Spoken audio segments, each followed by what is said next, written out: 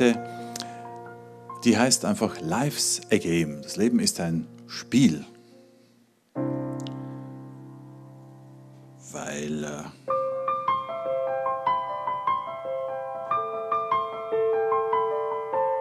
es fängt alles irgendwie so ganz zart an.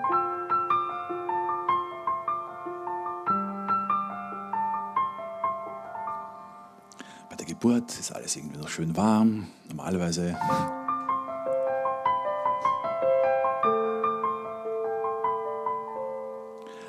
Papa kümmern sich.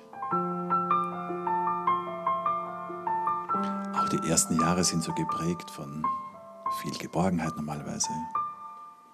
Und irgendwann einmal kommt so der erste Gehversuch.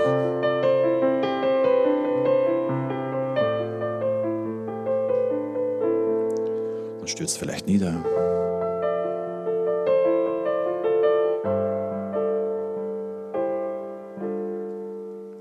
Zuerst einmal alles total dramatisch.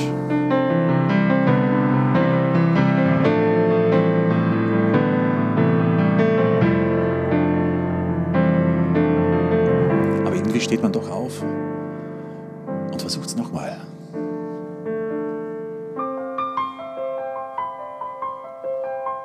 Das wiederholt sich viele tausende Male. Und irgendwann dann gar nicht mehr drüber nach. Man kann einfach gehen.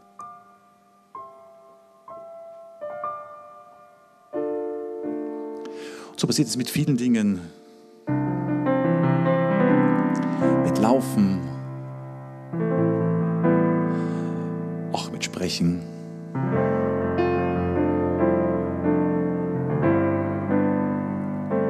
Irgendwann passiert alles einmal automatisch.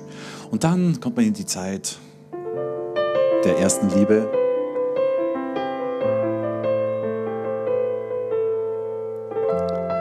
Man verliebt sich, man ist irgendwie im siebten Himmel. Alles schön. Die Englein oder auch die Einhörner singen und tanzen und springen.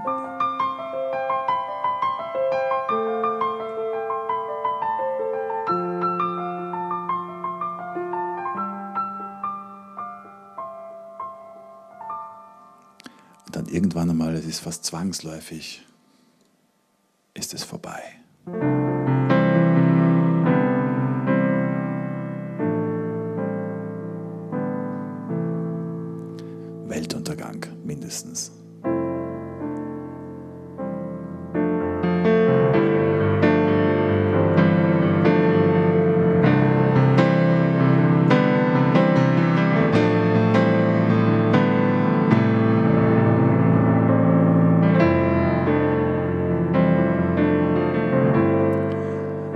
irgendwann einmal trifft man eine gute Freundin oder einen guten Freund und äh, der oder die sagt dann, ach komm, jetzt machen wir mal ein bisschen Party. Ne?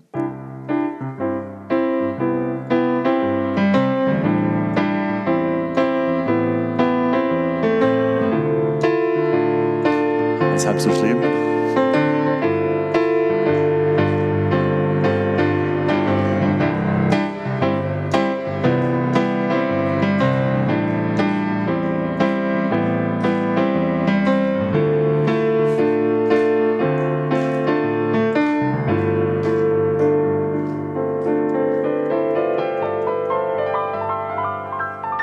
Irgendwann ist es dann wieder soweit, man verliebt sich wieder ganz schwerstens.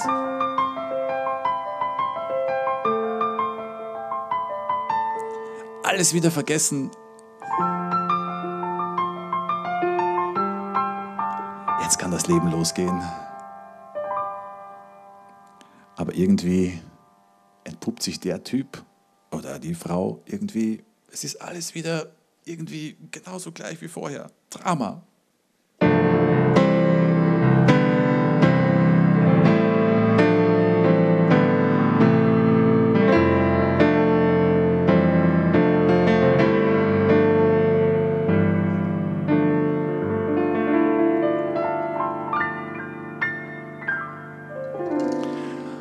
Wechselt man ein bisschen seinen Stil, sein Outfit, man sucht sich andere Freunde und man macht aber wieder ein bisschen Party.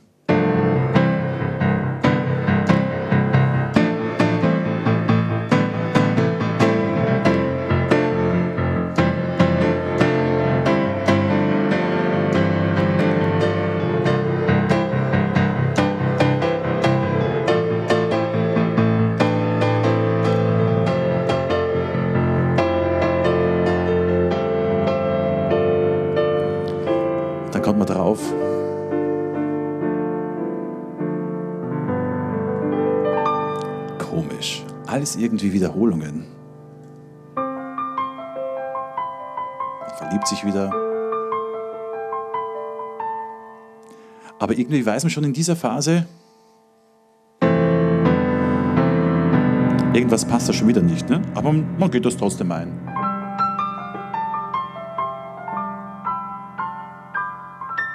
Man denkt sich, jetzt ist alles besser.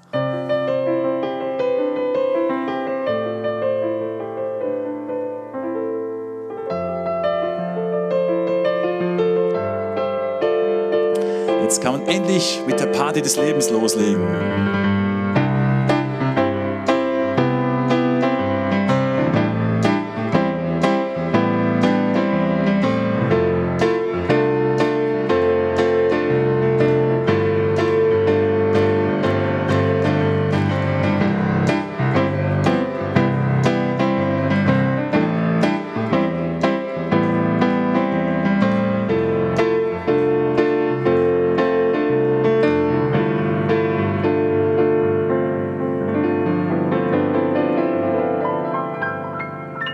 Und irgendwann dann so in der Lebensmitte mit äh, ja, 30, 40, 50, je nachdem, wo die Lebensmitte ist,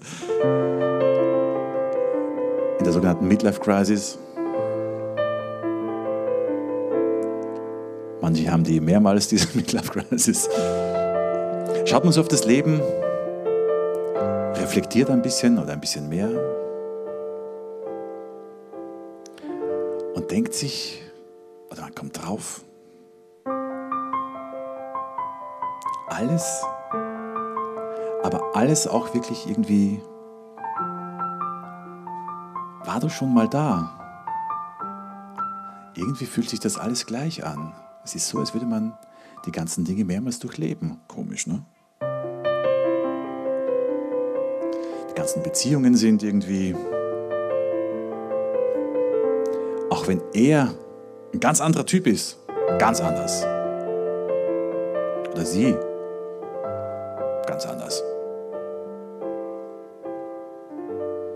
Irgendwie nach einer gewissen Zeit legen sie so Verhaltensweisen an den Tage. Da denkt man sich, haben die mit meinen ganzen Exen gesprochen? Die verhalten sich ja ganz genauso oder zumindest so ähnlich.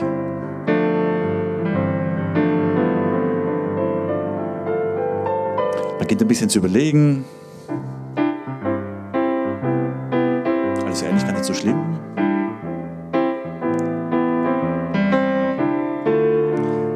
Weiß ungefähr, was kommt. Warum nicht Party machen?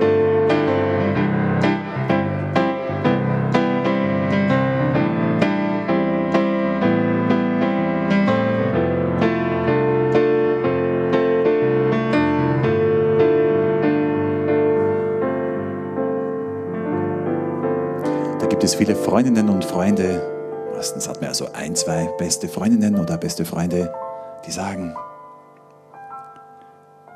du musst dein Leben ändern.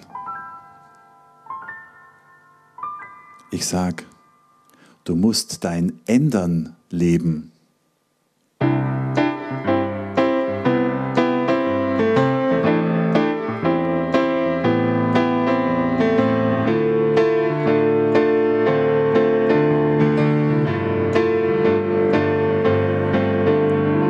Und irgendwann dann so, kurz vor dem Eintritt und vor dem Übertritt, ins sogenannte Paradies, so vor dem weißen Tunnel, rennt das ganze Leben nochmals so im Schnelldurchlauf vor uns auf einer Leinwand durch. Alle Situationen, alle Schlüsselsituationen gehen nochmal vorbei. Die erste Liebe bis zur ersten Enttäuschung.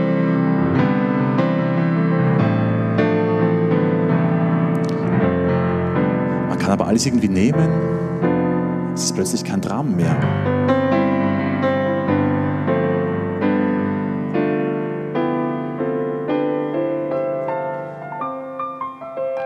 Man kann die Dinge sehen, wie sie sind.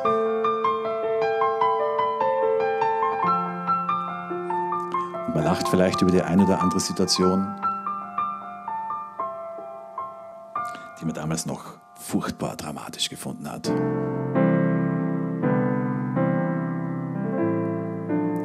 Denkt sich nämlich, genau dadurch, genau dadurch bin ich jetzt dieser Mensch geworden. Genau das hat mich stark gemacht. Man ist plötzlich dankbar. Dankbar für den ganzen Quatsch, den man erlebt hat. Weil ohne diesen ganzen Quatsch, ohne diese ganze Schmerztortur, hätte man das alles nicht erlebt. Hätten wir uns gar nicht dorthin bewegt. Wie schön.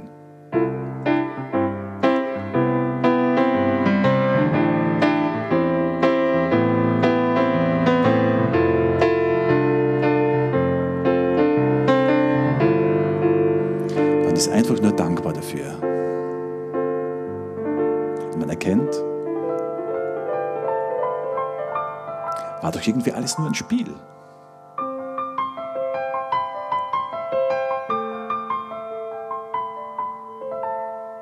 Eigentlich immer wieder das gleiche Drehbuch. Man hat oft nur die Schauspieler ausgetauscht. Mhm. Oh ja. Auch wenn man manchmal geglaubt hat, man hat ein ganz anderes Drehbuch. Das hat der Regisseur wunderbar unter einem anderen Namen verkauft. Ne? Mhm.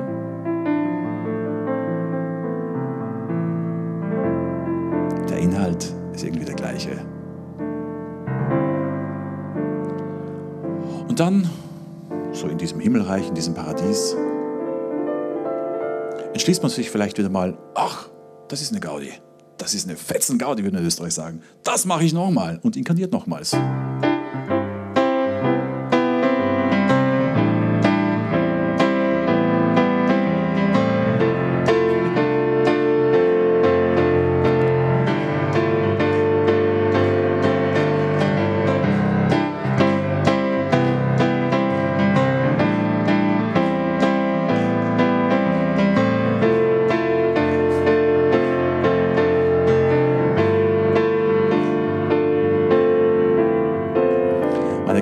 Das Leben ist